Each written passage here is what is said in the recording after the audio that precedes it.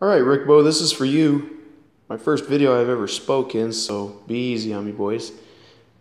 Like I told you, Rick, I got this power feed installed.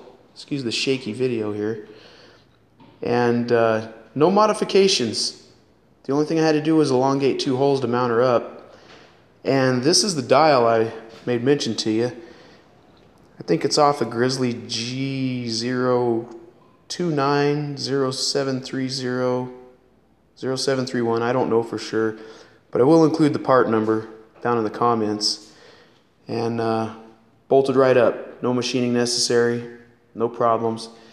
And you've got the, uh, the locking ring on here, so you can back it off and turn it like a, like a big boy mill. Works pretty good.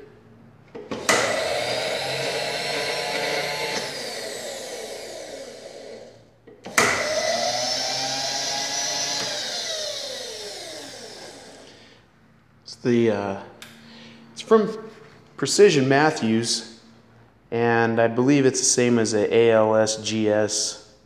Get them anywhere, all over the internet. So pretty pleased with that. So that's what I got there. And I also put a little DRO on here, glass scales, because well, I'm a cheap dick. Little machining and whatnot to get that on there. This is the x-axis bracket I made. Got her within about 3 thou on the x and 2 thou on the y, so that ought to be sufficient.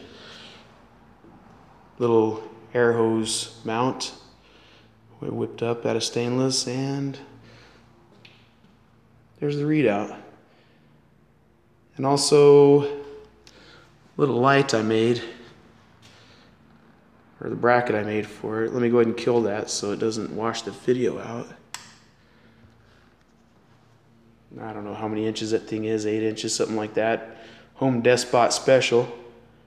So that's it. Figured I'd show you that, and I will include the part number for that ring. Uh, straight through Grizzly, hit and miss whether or not they got it in stock. Five week wait if they don't. I lucked out, they had one in stock, so I pulled the trigger on it.